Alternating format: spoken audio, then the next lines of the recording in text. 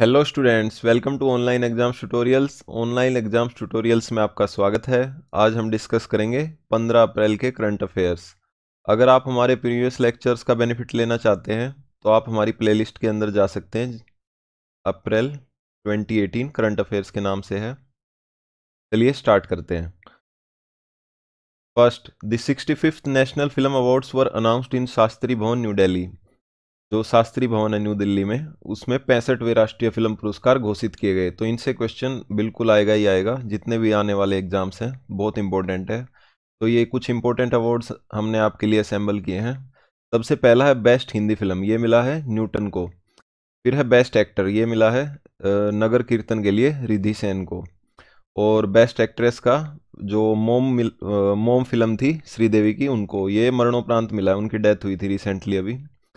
उसके बाद है बेस्ट डायरेक्टर ये मिला है भयानकम मूवी के लिए जयराज को। फिर है बेस्ट मूवी बेस्ट मूवी है विलेज रॉक स्टार ये असमीज मूवी है अस, आ, असम की जो लैंग्वेज है असमीज उसमें ये मूवी बनी है।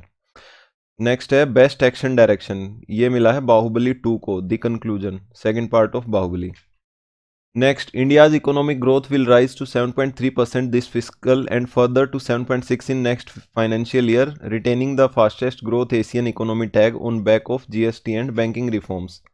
यानी जीएसटी और बैंकिंग सुधारों के बावजूद जो भारत की आर्थिक विकास दर है वो इस वित्त वर्ष में रहेगी 7.3 प्रतिशत और जो अगले वित्त वर्ष में रहेगी वो 7.6 यानी 7.6 percent In its Asian Development Outlook 2018, Manila based ADB said risk to trade are high.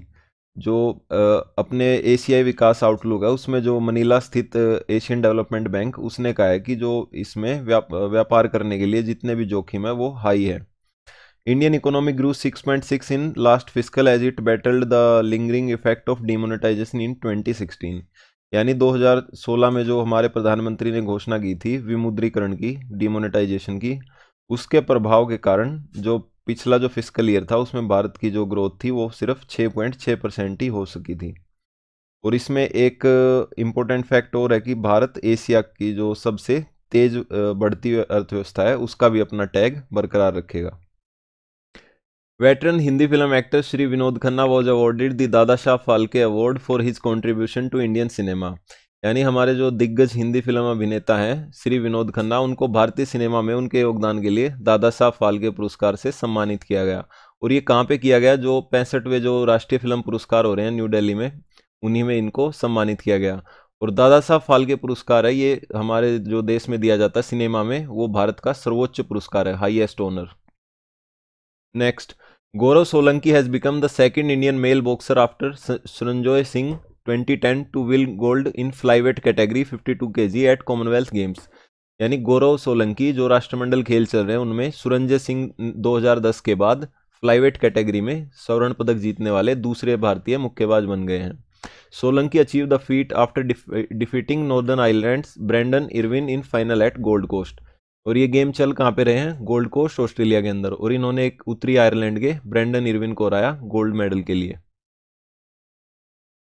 Next Mausam Khatri bagged silver after losing to South Africa's Martin Erasmus in men's freestyle ninety final to give India its thirty ninth medal at Commonwealth Games twenty यानी मौसम खत्री ने राष्ट्रमंडल खेलों में भारत को उनतालीसवां पदक जिताया, जिसमें कि इन्होंने पुरुषों के free style ninety seven kilogram जो कैटेगरी है, उसके फाइनल में अफ्रीका के जो मार्टिन इरोसमस से हारने के बाद ये पदक जीता।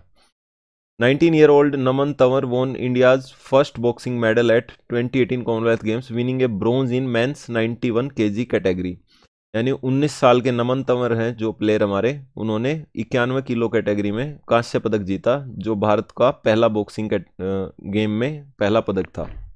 तो स्टूडेंट्स इनके नाम याद रखिएगा नमन तंवर और मौसम खत्री। क्योंकि प्लेयर्स के जो नाम पूछे जाने की ज़्यादा पॉसिबिलिटी है और फिर आपसे पूछा जा सकता है कि ये किस गेम से रिलेट करते हैं।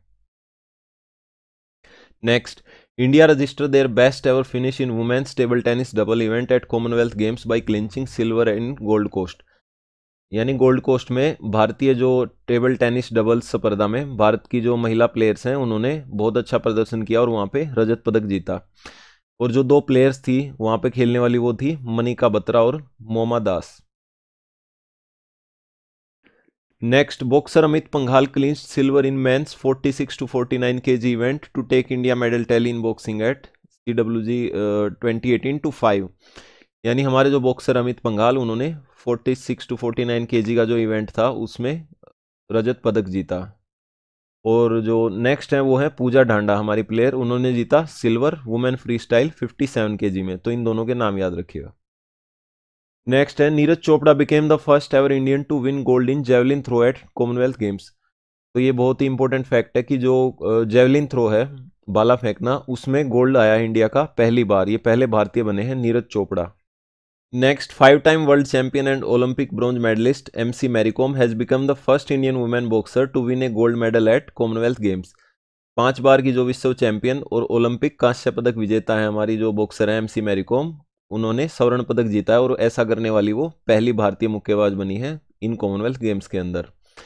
Wrestler Bajrang Punia won his first Commonwealth Games gold medal defeating Wales Kane Craig by technical superiority in men's freestyle sixty five K G final at Gold Coast यानी हमारे जो पहलवान हैं बजरंग पुनिया, उन्होंने गोल्ड कोस्ट जो game चल रहे हैं अभी, उनमें वेल्स के केन चार को free style sixty five K जी कैटेगरी में तकनीकी श्रेष्ठता से हराकर अपना पहला गोल्ड जीता।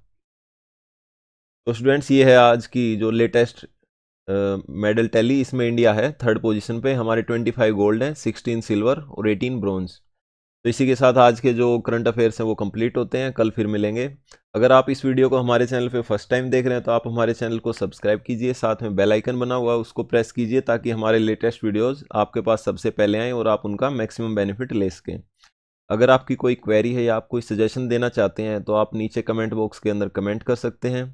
या फिर आप हमें ई कर सकते हैं। हमारी ईमेल आईडी है ऑनलाइन एग्ज़ाम्स ट्यूटोरियल्स, जो कि हमारा चैनल नेम भी है at the rate Gmail dot com thank you have a nice day